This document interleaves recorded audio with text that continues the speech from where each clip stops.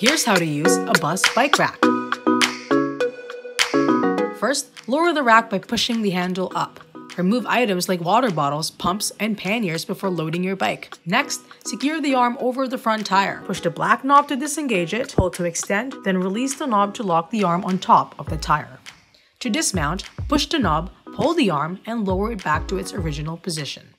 Finally, raise the rack back up, push the handle towards you, lift, and push the rack towards the bus to lock it into place.